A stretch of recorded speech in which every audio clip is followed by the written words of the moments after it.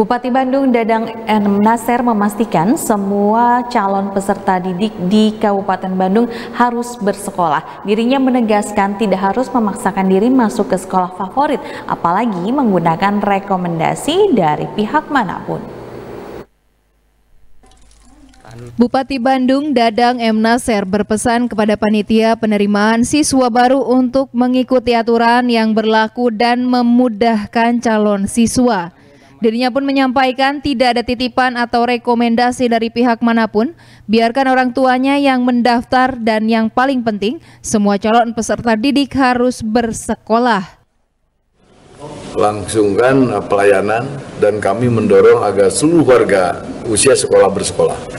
Ini sejak kepala desa jangan terhalang oleh alasan dengan kondisi COVID. Daftarkan dulu, termasuk perguruan tinggi. Kalau kemudian tinggi ada ada pendekatan-pendekatan yang sifatnya bukan pendekatan mempengaruhi testing supaya lulus, tapi bagaimana warga Bandung banyak melanjutkan ke S1 di berbagai perguruan tinggi yang sudah melakukan MOU dengan Kabupaten Bandung. Kalau ditemukan kan nggak boleh, apalagi ada uang-uangnya, gugurkan.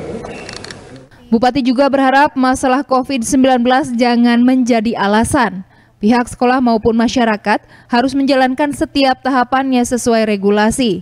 Yang terpenting semua calon peserta didik bisa bersekolah. Rezitia Prasaja, Bandung TV.